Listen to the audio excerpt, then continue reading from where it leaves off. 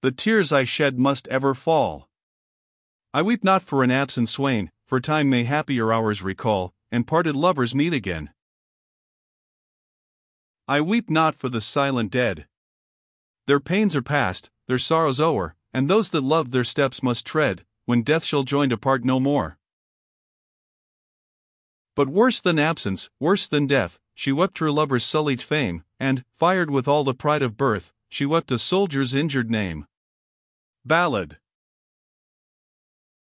The frank and bold voice of Richard was heard in joyous gratulation. Thomas de Vaux. Stout Tom of the Gills. By the head of King Henry, thou art welcome to me as ever was flask of wine to a jolly toper. I should scarce have known how to order my battle array, unless I had thy bulky form and mine eye as a landmark to form my ranks upon. We shall have blows anon, Thomas, if the saints be gracious to us, and had we fought in thine absence, I would have looked to hear of thy being found hanging upon an elder tree. I should have borne my disappointment with more Christian patience, I trust, said Thomas de Vaux, than to have died the death of an apostate. But I thank your grace for my welcome, which is the more generous, as it respects a banquet of blows, of which, saving your pleasure, you are ever too apt to engross the larger share. But here have I brought one to whom your grace will, I know, give a yet warmer welcome. The person who now stepped forward to make obeisance to Richard was a young man of low stature and slight form. His dress was as modest as his figure was unimpressive, but he bore on his bonnet a gold buckle, with a gem, the luster of which could only be rivaled by the brilliancy of the eye which the bonnet shaded. It was the only striking feature in his countenance, but when once noticed, it ever made a strong impression on the spectator. About his neck there hung in a scarf of sky blue silk a rest as it was called, that is, the key with which a harp is tuned, and which was of solid gold. This personage would have kneeled reverently to Richard, but the monarch raised him in joyful haste, pressed him to his bosom warmly, and kissed him on either side of the face. Blondel de Nesle, he exclaimed joyfully, Welcome from Cyprus, my king of minstrels, welcome to the king of England, who rates not his own dignity more highly than he does thine. I have been sick, man, and, by my soul, I believe it was for lack of thee, for, were I halfway to the gate of heaven, methinks thy strains could call me back. And what news, my gentle master, from the land of the lyre? Anything fresh from the trouveurs of Provence? Anything from the minstrels of merry Normandy? Above all, hast thou thyself been busy? But I need not ask thee, thou canst not be idle if thou wouldst, thy noble qualities are like a fire burning within, and compel thee to pour thyself out in music and song. Something I have learned, and something I have done, noble king, answered the celebrated Blondel, with a retiring modesty which all Richard's enthusiastic admiration of his skill had been unable to banish. We will hear thee, man, we will hear thee instantly, said the king. Then, touching Blondel's shoulder kindly, he added, That is, if thou art not fatigued with thy journey, for I would sooner ride my best horse to death than injure a note of thy voice. My voice is, as ever, at the service of my royal patron, said Blondel, but your majesty, he added, looking at some papers on the table, seems more importantly engaged, and the hour waxes late. Not a whit, man, not a whit, my dearest Blondel. I did but sketch an array of battle against the Saracens, a thing of a moment, almost as soon done as the routing of them. Methinks, however, said Thomas de Vaux, it were not unfit to inquire what soldiers your grace hath to array. I bring reports on that subject from Ascalon. Thou art a mule, Thomas, said the king, a very mule for dullness and obstinacy. Come, nobles, a hall, a hall, range ye around him. Give Blondel the tabouret. Where is his harp bearer, or, soft, lend him my harp, his own may be damaged by the journey. I would your grace would take my report, said Thomas de Vaux. I have ridden far, and have more list to my bed than to have my ears tickled. Thy ears tickled, said the king, that must be with a woodcock's feather, and not with sweet sounds. Hark thee, Thomas, do thine ears know the singing of Blondel from the braying of an ass? In faith, my liege, replied Thomas, I cannot well say, but setting Blondel out of the question, who is a born gentleman, and doubtless of high acquirements, I shall never, for the sake of your grace's question, look on a minstrel but I shall think upon an ass. And might not your manners, said Richard, have accepted me, who am a gentleman born as well as Blondel, and, like him, a guild brother of the joyeuse science? Your grace should remember, said De Vaux, smiling, that 'tis useless asking for manners from a mule. Most truly spoken, said the king, and an ill conditioned animal thou art. But come hither, master mule, and be unloaded, that thou mayest get thee to thy litter, without any music being wasted on thee. Meantime, do thou, good brother of Salisbury, go to our consort's tent, and tell her that Blondel has arrived, with his budget fraught with the newest minstrelsy. Bid her come hither instantly, and do thou escort her, and see that our cousin, Edith Plantagenet, remain not behind. His eye then rested for a moment on the Nubian, with that expression of doubtful meaning which his countenance usually displayed when he looked at him. Ha, our silent and secret messenger returned, stand up, slave, behind the back of De Neville, and thou shalt hear presently sounds which will make thee bless God that he afflicted thee rather with dumbness than deafness. So saying, he turned from the rest of the company towards De Vaux, and plunged instantly into the military details which that baron laid before him. About the time that the Lord of Gilsland had finished his audience, a messenger announced that the queen and her attendants were approaching the royal tent. A flask of wine, ho, said the king, of old King Isaac's long saved Cyprus, which we won when we stormed Famagosta. Fill to the stout lord of Gilsland, gentles, a more careful and faithful servant never had any prince. I am glad, said Thomas de Vaux, that your grace finds the mule a useful slave, though his voice be less musical than horsehair or wire. What, thou canst not yet digest that quip of the mule, said Richard. Wash it down with a brimming flagon, man, or thou wilt choke upon it. Why, so well pulled, and now I will tell thee, thou art a soldier as well as I, and we must brook each other's jests in the hall as each other's blows in the tourney, and love each other the harder we hit. By my faith, if thou didst not hit me as hard as I did thee in our late encounter, thou gavest all thy wit to the thrust. But here lies the difference betwixt thee and Blondel. Thou art but my comrade, I might say my pupil, in the art of war, Blondel is my master in the science of minstrelsy and music. To thee I permit the freedom of intimacy, to him I must do reverence, as to my superior in his art. Come, man, be not peevish, but remain and hear our glee.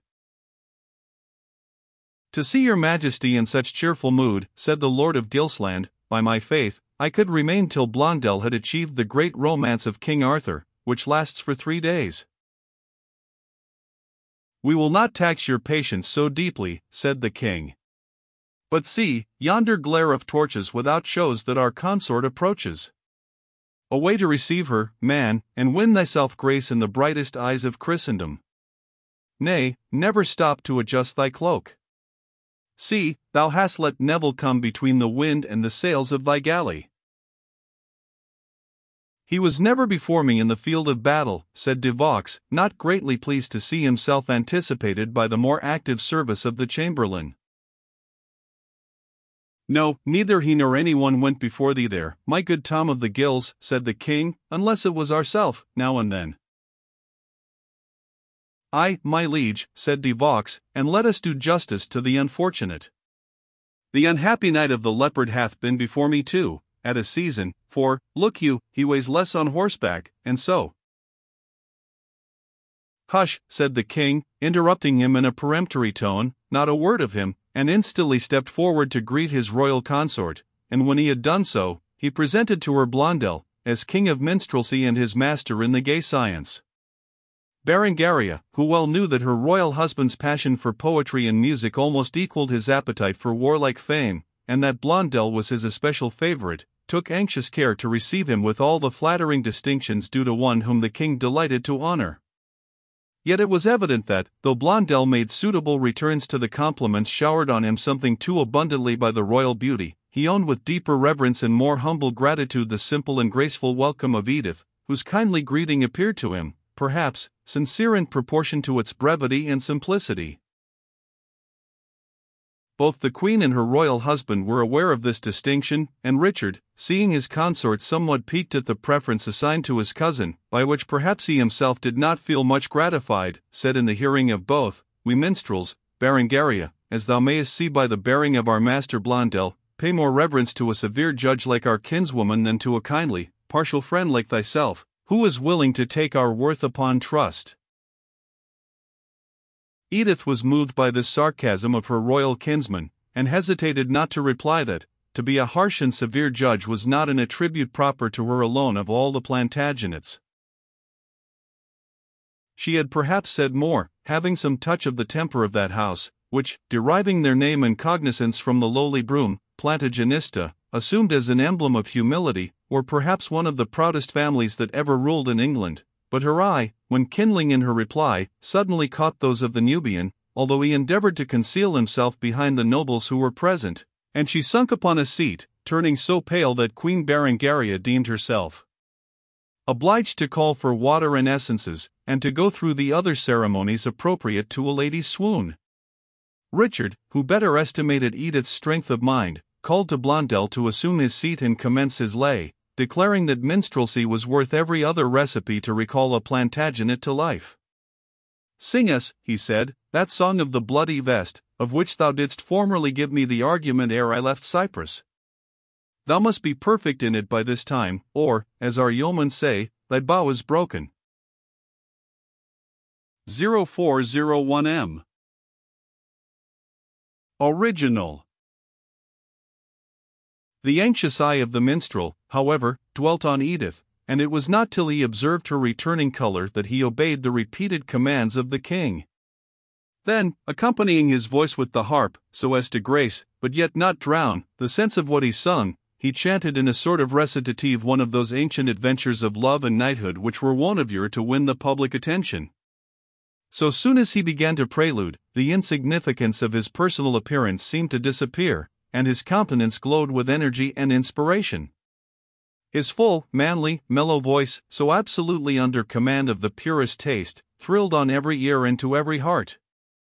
Richard, rejoiced as after victory, called out the appropriate summons for silence, listen, lords, in bower and hall, while, with the zeal of a patron at once and a pupil, he arranged the circle around, and hushed them into silence, and he himself sat down with an air of expectation and interest, not altogether unmixed with the gravity of the professed critic. The courtiers turned their eyes on the king, that they might be ready to trace and imitate the emotions his features should express, and Thomas de Vaux yawned tremendously, as one who submitted unwillingly to a wearisome penance. The Song of Blondel was, of course, in the Norman language, but the verses which follow express its meaning and its manner. The Bloody Vest. 'Twas near the fair city of Benevent, when the sun was setting on bow and bent, and knights were preparing in bower and tent, on the eve of the Baptist's tournament, when in Lincoln Green a stripling gent, while seeming a page by a princess sent, wandered the camp, and, still as he went, inquired for the Englishman, Thomas a Kent. Far hath he fared, and farther must fare, till he finds his pavilion nor stately nor rare, little save iron and steel was there, and, as lacking the coin to pay armorer's care, with his sinewy arms to the shoulders bare, the good knight with hammer and file did repair the mail that tomorrow must see him wear, for the honor of St. John and his lady fair. Thus speaks my lady, the page said he, and the knight bent lowly both head and knee. She is Benevent's princess so high in degree, and thou art as lowly as knight may well be. He that would climb so lofty a tree, where spring such a gulf as divides her from thee, must dare some high deed, by which all men may see his ambition is backed by his high chivalry. Therefore, thus speaks my lady, the fair page, he said, and the knight lowly lauded with hand and with head, Fling aside the good armor in which thou art clad, and don thou this weed of her night gear instead, for a hauberk of steel, a kirtle of thread, and charge, thus attired, in the tournament dread, and fight as thy wont is where most blood is shed, and bring honor away, or remain with the dead. Untroubled in his look, and untroubled in his breast, the knight the weed hath taken, and reverently hath kissed. Now blessed be the moment, the messenger be blessed. Much honored do I hold me in my lady's high behest, and say unto my lady, In this dear night we dressed, to the best armed champion I will not veil my crest, but if I live and bear me well, 'tis her turn to take the test. Here, gentles, ends the foremost fit of the lay of the bloody vest. Thou hast changed the measure upon us unawares in that last couplet, my Blondel, said the king. Most true, my lord, said Blondel. I rendered the verses from the Italian of an old harper whom I met in Cyprus, and not having had time either to translate it accurately or commit it to memory, I am fain to supply gaps in the music and the verse as I can upon the spur of the moment, as you see boors mend a quickset fence with a faggot.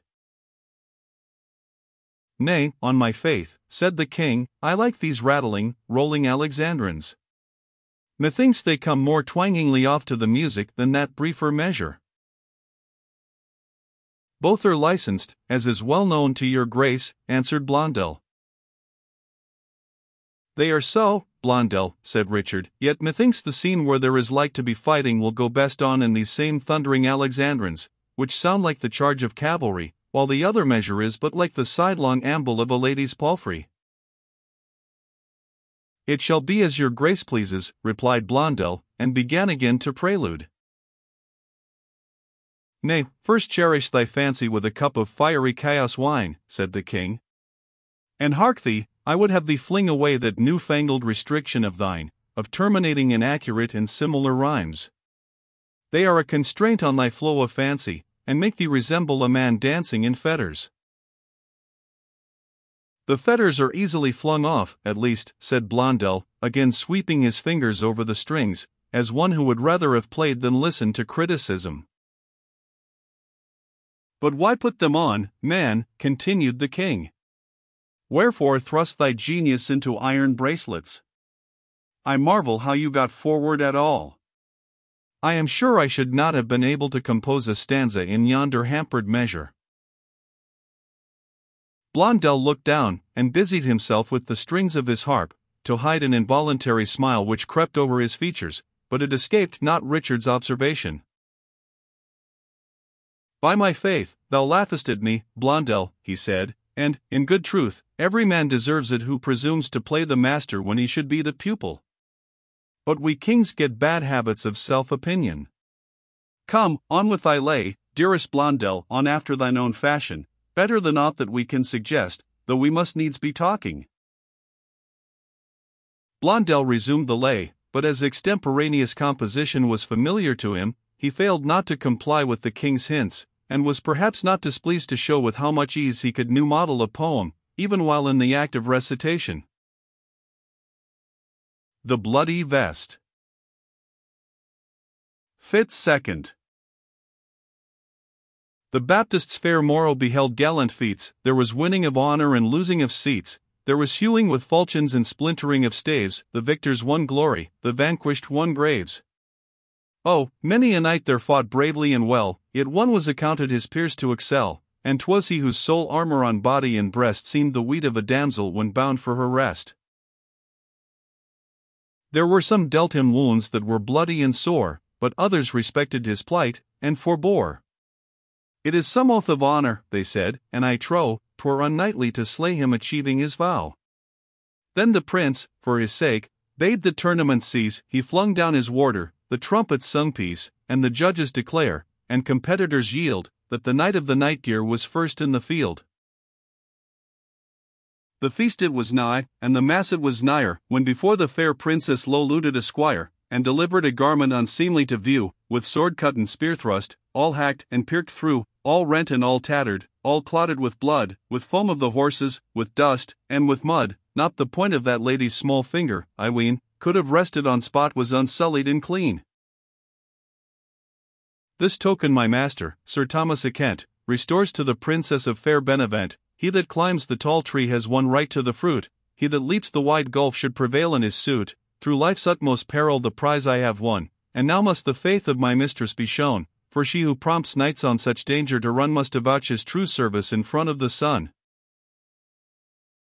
I restore, says my master, the garment I've worn, and I claim of the princess to don it in turn, for its stains and its rents she should prize it the more, since by shame 'tis unsullied, though crimson with gore. Then deep blushed the princess, yet kissed she and pressed the blood spotted robes to her lips and her breast. Go tell my true knight, church and chamber shall show if I value the blood on this garment or no. And when it was time for the nobles to pass, in solemn procession to Minster and Mass, the first walked the princess in purple and pall, but the blood besmeared night robe she wore over all, and eke, in the hall, where they all sat at dine, when she knelt to her father and proffered the wine, over all her rich robes and state jewels she wore that wimple unseemly bedabbled with gore. Then lords whispered ladies, as well you may think, and ladies replied with nod, titter, and wink, and the prince, who in anger and shame had looked down, turned at length to his daughter, and spoke with a frown, Now since thou hast published thy folly and guilt, e'en atone with thy hand for the blood thou hast spilt, yet sore for your boldness you both will repent, when you wander as exiles from fair Benevent. Then outspoke stout Thomas, in hall where he stood, exhausted and feeble, but dauntless of mood, the blood that I lost for this daughter of thine, I poured forth as freely as flask gives its wine, and if for my sake she brooks penance and blame, do not doubt I will save her from suffering and shame, and light will she reck of thy princedom and rent, when I hail her, in England, the Countess of Kent. A murmur of applause ran through the assembly, following the example of Richard himself, who loaded with praises his favorite minstrel, and ended by presenting him with a ring of considerable value. The queen hastened to distinguish the favorite by a rich bracelet, and many of the nobles who were present followed the royal example. Is our cousin Edith, said the king, become insensible to the sound of the harp she once loved? She thanks Blondel for his lay, replied Edith, but doubly the kindness of the kinsman who suggested it. Thou art angry, cousin, said the king, angry because thou hast heard of a woman more wayward than thyself. But you escape me not. I will walk a space homeward with you towards the queen's pavilion. We must have conference together ere the night has waned into morning. The queen and her attendants were now on foot, and the other guests withdrew from the royal tent. A train with blazing torches and an escort of archers awaited Berengaria without the pavilion, and she was soon on her way homeward.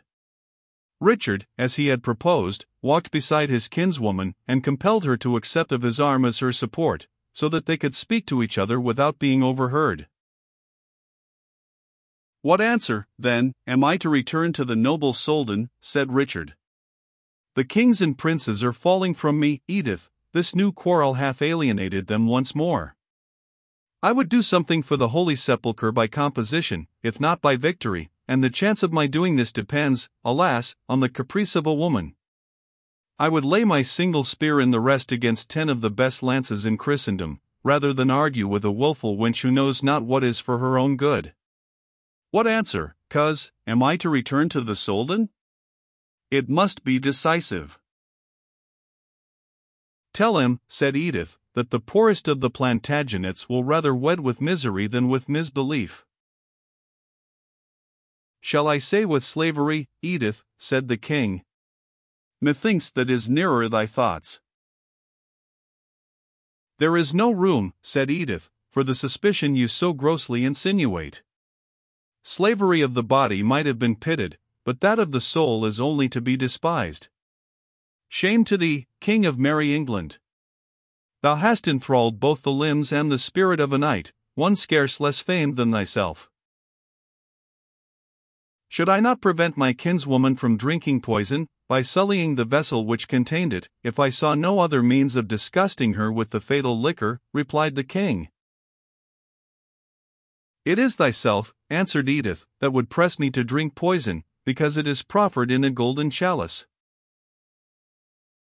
Edith, said Richard, I cannot force thy resolution, but beware you shut not the door which heaven opens. The hermit of Engaddi, he whom popes and councils have regarded as a prophet, hath read in the stars that thy marriage shall reconcile me with a powerful enemy, and that thy husband shall be Christian, leaving thus the fairest ground to hope that the conversion of the Soldan, and the bringing in of the sons of Ishmael to the pale of the church, will be the consequence of thy wedding with Saladin. Come, Thou must make some sacrifice rather than mar such happy prospects. Men may sacrifice rams and goats, said Edith, but not honor and conscience. I have heard that it was the dishonor of a Christian maiden which brought the Saracens into Spain, the shame of another is no likely mode of expelling them from Palestine. Dost thou call it shame to become an empress? said the king. I call it shame and dishonor to profane a Christian sacrament by entering into it with an infidel whom it cannot bind, and I call it foul dishonor that I, the descendant of a Christian princess, should become a freewill the head of a harem of heathen concubines. Well, kinswoman, said the king, after a pause, I must not quarrel with thee, though I think thy dependent condition might have dictated more compliance. My liege, replied Edith, your grace hath worthily succeeded to all the wealth, dignity, and dominion of the house of Plantagenet. Do not, therefore, begrudge your poor kinswoman some small share of their pride. By my faith, wench, said the king, thou hast unhorsed me with that very word, so we will kiss and be friends. I will presently dispatch thy answer to Saladin.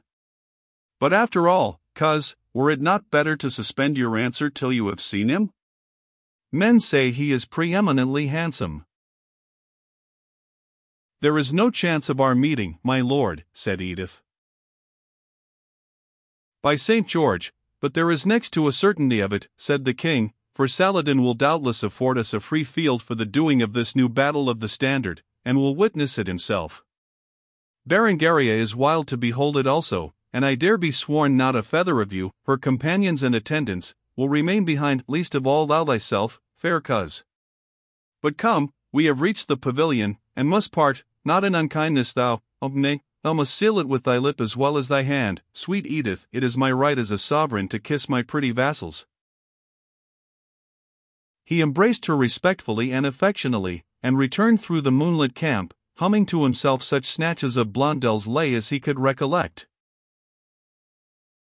On his arrival, he lost no time in making up his dispatches for Saladin, and delivered them to the Nubian, with a charge to set out by peep of day on his return to the Soldan.